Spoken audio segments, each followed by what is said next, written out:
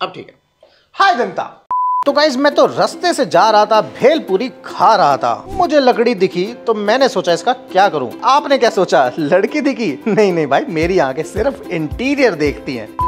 आज की इस वीडियो में मैं आपको दिखाऊँगा कि कैसे मैंने और मेरी डिज़ाइन टीम ने 8 लाख का डिज़ाइन बनाया सिर्फ़ पाँच हज़ार रुपए में, जो आप बना सकते हो अपने घर के फॉयर पे या अपने फ्लैट के पैसेज पे। और कौन होगा वो जिसको मिलेगा आज ये डिज़ाइन बिल्कुल फ्री ऑफ़ कॉस्ट कहीं वो। आप तो नहीं। तो आइए शुरू करते हैं। इंटीरियर कोच 2.0 की इस वीडियो को।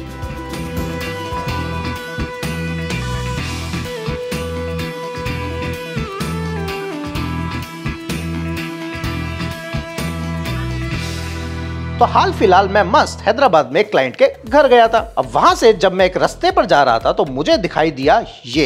और तभी मैंने सोचा कि यार ये डिज़ाइन अगर मैं अपने कहीं घर पर बनवाऊं तो ये कितने का पड़ेगा? और जब मैंने मार्केट में इसका रेट पता किया तो मेरे तो भैया होश ही उड़ गए। और वो अमाउंट था आठ लाख। तो यहाँ से फ़्लाइट पकड़ के हैदराबाद से अपने ऑफ़िस गुड़गांव में जाके मैंने अपनी अकाउंट टीम के पास पहुँचा और मैंने कहा, मेरे आठ लाख दो। डेढ़ सौ रुपया देगा।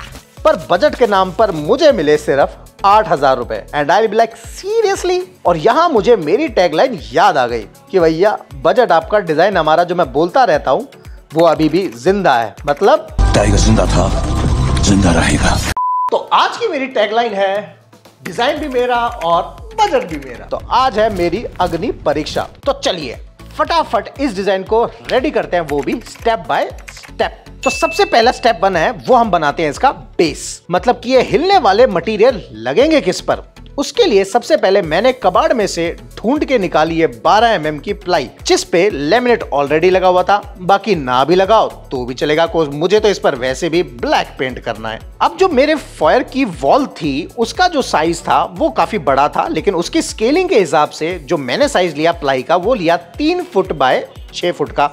जिसकी टोटल कॉस्ट आई बारह सौ चालीस रुपए। अब आया स्टेप टू ये हिलने डुलने वाली चीज़ कहाँ मिलेगी? और तो हिलने वाला मटेरियल है, वो भी मेटल का, और वो भी भैया पाउडर कोटेड जो कि बहुत महँगा आता है। तो हमने वो सब तो नहीं लिया, और हमने लगाया अपना दिमाग, और इस मटेरियल का रेप्लिका को ढूंढ के निकाला, जो कि वेट में हल्का था। और उस मटेरियल को लेने के लिए मैं निकला गड्डी लेके एक रस्ते पर, एक सड़क पे सीधा सिकंदर पूर्व की तरफ़, जहाँ मेरी सबसे पुरानी शॉप है, जहाँ से मैं काफ़ी करोड़ों का मटेरियल ले चुका हूँ बॉस और वो है हमारे मिसबा भाई, जिनकी शॉप है सिकंदरपुर में। अब यहाँ मैंने जो मटेरियल चूज़ किया, वो था एक्रिलिक जो कि एकदम मेटल एंड ग्लास की फिनिश देता है।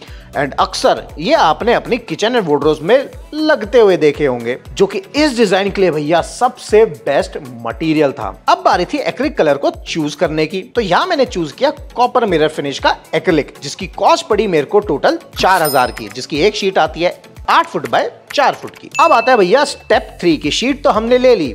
अब टाइम इन शीट्स को एक क्लीन कट देने का। तो इसके लिए मैंने कब्जा कर लिया मिसबा बाई की इस सीएनसी मशीन पर।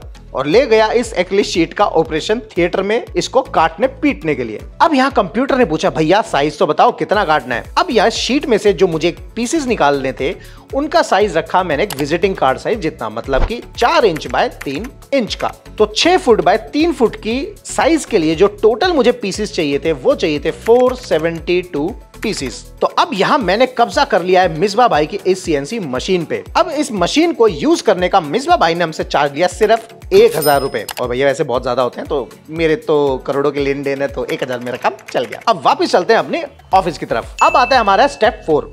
और अब टाइम था इन एक्रिलिक शीट्स को टंगाने का। तो सबसे पहले मैंने मार्किंग करी इस 12 एम mm की प्लाई पे, जहाँ मैंने हर शीट के बीच में मैंने गैप रखा 6 एम mm का एंड उसके बाद मैंने यहाँ मार्किंग कर दी पेंसिल से। अब स्टेप फाइव था इनको टंगाने के लिए कील लगाने का। मैंने कील तो टंगा दी, लेकिन जो मेरे ये शीट्स थे, ये बार बार बोर्ड पे चिपक जा रहे थे। तो इसलिए यहाँ पे मैंने बाँध दिया धागा अब आता है भैया स्टेप सिक्स तो अब यहाँ कील व्हील जुगाड़ करने के बाद अब टाइम था यहाँ लाइट लगाने का। मैंने क्या सिखाया? एक लाख लगाओ घर में या एक करोड़ लगाओ। लाइट का कलर लाइट की placement and type of light अगर सही नहीं है तो भैया डी फॉर डिज़ाइन की जगह हो जाएगा डी फॉर डिजास्टर तो यहाँ पे हमने लगा दी है लाइट्स मेरी टीम ने इन चीज़ को टंगाना शुरू किया। अब टाइम था लाइट को ऑन करके देखने का कि ये वॉल अब कैसी लगेगी। तो are you guys ready let's hit it